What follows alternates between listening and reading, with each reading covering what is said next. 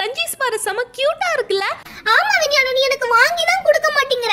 எதுக்கு வாங்கணும் சிக்கி? நான் வீட்லயே உனக்கு பண்ணி கொடுக்குறேன். அதுக்காக நான் ஒரு ஹேர் பேண்ட் எடுத்திருக்கேன். அண்ட் ஒரு சாரியில் பார்த்தீங்கன்னா பாதியை கட் பண்ணி எடுத்து அது ஊசி நூலை வச்சு நான் தச்சு விட்டுக்கிறேன். ஒரு சைடு மட்டும். ஒரு டப்பா எடுத்து நம்ம ஆல்ரெடி தச்சு வச்சிருக்கோம் அதை உல்டா பண்ணி அதுக்குள்ளாடி டப்பாக்குள்ளாடி போட்டு விட்டுக்கோங்க. தென் ஹேர் பேண்டையும் அதுக்குள்ளாடி போட்டுட்டு ரெண்டு சைடு பார்த்தீங்கன்னா ஒரு மாதிரி துணி பிரிஞ்சது மாதிரி இருக்கும். அதை மட்டும் அழகாக மடக்கி விட்டுக்கோங்க அந்த ஹேர் பேண்டு கிட்ட. தென் பார்த்தீங்கன்னா அது ஊசி நூட்டு வச்சு தச்சு எடுத்தீங்கன்னா நம்மளுக்கு ஸ்க்ரஞ்சிஸ் ரெடி இந்த ஐடியா எப்படி இருக்குன்னு சொல்லுங்க.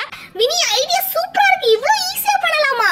ஆமா இதை நம்ம செல்லக்குட்டி சதோட நேம் எழுதிக்கிட்டு மது நிஷானு உங்க நேம் எழுத மறக்காம கமெண்ட்ல சொல்லுங்க. போனோட த்ரீ கமெண்ட் பண்ண செல்லக்குட்டிஸ் ஆக்னஸ் அருண்குமார் அஸ்வஷ்